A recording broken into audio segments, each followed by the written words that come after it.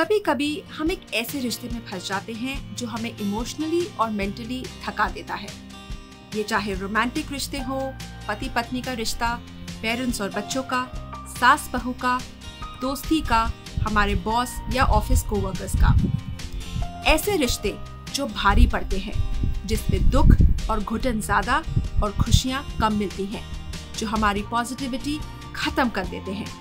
इनको हम toxic relationships कहते हैं। और आज मैं आप सबसे मैरिटल यानी पति पत्नी के टॉक्सिक रिलेशनशिप्स के बारे में बात करूँगी। नमस्ते एंड वेलकम टू फिट तक मैं हूँ देवयानी धीर, एक मेंटल हेल्थ काउंसलर और मेंटल हेल्थ ब्लॉगर आज की वीडियो में मैं आपको तीन चीज़ें बताऊँगी। वन टॉक्सिक रिलेशनशिप्स को पहचानना। Two types of toxic people कौन होते हैं। एंड थ्री टॉक्सिक रिलेशनशिप से हम कैसे डील कर सकते हैं? तो सबसे पहले मैं आपको ये बताऊँगी कि हम टॉक्सिक रिलेशनशिप्स को पहचान कैसे सकते हैं। इसके लिए मैं आपको टेन पॉइंट्स बताऊँगी। वन जहाँ लैक ऑफ़ रिस्पेक्ट हो, एक दूसरे की इज़्ज़त ना हो। टू कॉन्स्टेंट फाइटिंग जिस रिश्ते में लगातार लड़ाई हो। थ्री ओनली सोसाइटियल और लीगल बॉन्डिंग जिस रिश्ते की बुनियाद आपके लिए सिर्फ़ सामाजिक या कानूनी हो।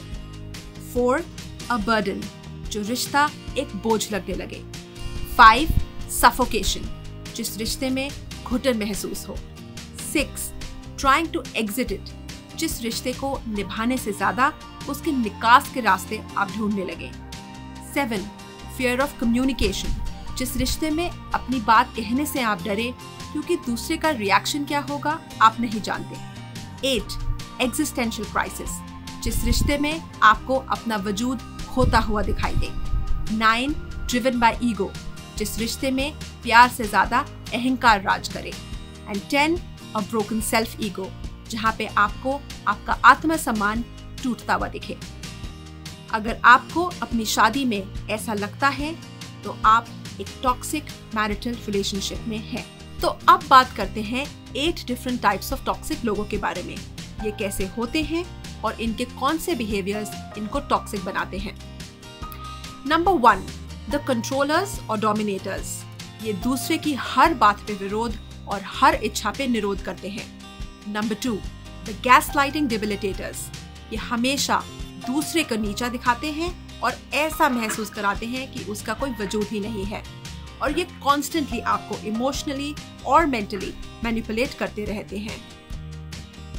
Number three the fault finding criticisers इनको अच्छाई में भी बुराई दिखाई देती है और इनको खुश करना नामुमकिन होता है।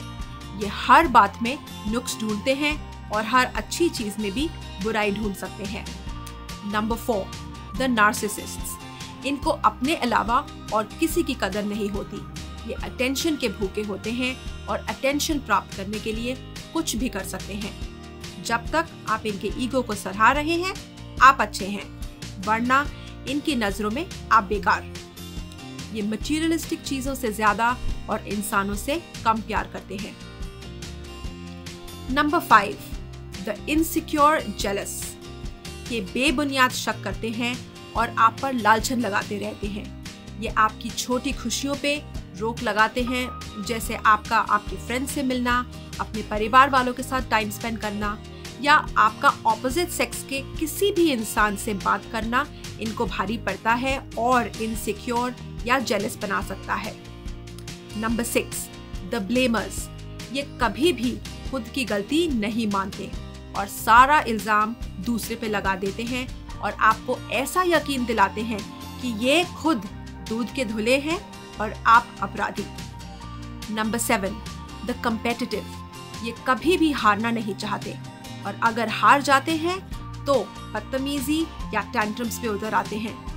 Even when they claim they love you and they would do anything for you they see you only as competition rather than a partner और friend as the case may be they don't want you to beat them at anything whether it is in the earning of money और a game लेकिन आपकी हार ही इनकी जीत होती है और अंदर ही अंदर ये बहुत खुश होते हैं। क्योंकि आपकी हार इनके लिए एक मौका होता है फेक सहानुभूति दिखाने का और आपका दिल फिर से जीत लेने का। नंबर एट द लायर्स कभी ना कभी हम सब झूठ बोलते हैं, पर कभी डर के मारे बोलते हैं, कभी अनजाने में बोलते हैं, कभी कंफ्यूजन में बोलते हैं। पर ये जो टॉक्सिक लोग होते हैं, ये क्रॉनिक पैथोलॉजिकल लायर्स होते हैं। यानी ये आम तौर पे कभी भी किसी भी सिचुएशन में झूठ ही बोलते हैं। जब आप इनके झूठ से कंफ्यूज और परेशान हो जाते हैं तो ये आपकी परेशानी में अपनी एक्साइटमेंट ढूंढते हैं। अब बात करते हैं कि इन टॉक्सिक रिलेशनशिप्स और लोगों से हम कैसे डील कर सकते हैं। एक मेंटल हेल्थ काउंसलर होने के नाते और एक भारतीय नारी होने के नाते मैं हमेशा ये मानती हूँ कि रिश्ते बनाने तो आसान होते हैं, पर निभाने उतने ही मुश्किल। खासकर शादी का रिश्ता। हम कभी कभी ऐसे रिश्तों में इतना उलझ जाते हैं कि इनसे निकलना बहुत मुश्किल होता है और कभी कभी नामुमकिन भी हो जाता है। एक टॉक्सिक इंसान के साथ शादी में रहकर आप तीन तरीकों से डील कर सकते हैं। नंबर वन इमोशनल क्वेश्चनिंग एक टॉक्सिक इंसान के खिलाफ आपका सबसे बड़ा हथियार है emotional questioning ask them How they feel when they do this to you question their facts asking about proof and logic to their statements सबूत मांगिए या फिर when they make personal attacks respond with indifference जैसे आपको कोई फर्क ही नहीं पड़ता This will give them zero fodder to react back at you. Dusra, disarm them. If reasoning doesn't work, give up the conversation to disarm them. उनसे बहस करना या अपनी सफ़ाई देना व्यर्थ है। Be boring to them by not showing that the attacks matter to you give them zero importance but sometimes blow hot and blow cold to confuse them instead of succumbing तीसरा सीख प्रोफेशनल हेल्प ये सबसे ज़रूरी है। एक counsellor ढूंढिए और उनके पास जाकर मैरिटल काउंसलिंग लीजिए टुगेदर क्योंकि हमारा ये समझना बहुत ज़रूरी है कि टॉक्सिक लोगों का व्यवहार किसी मानसिक परिस्थिति होने के कारण होता है।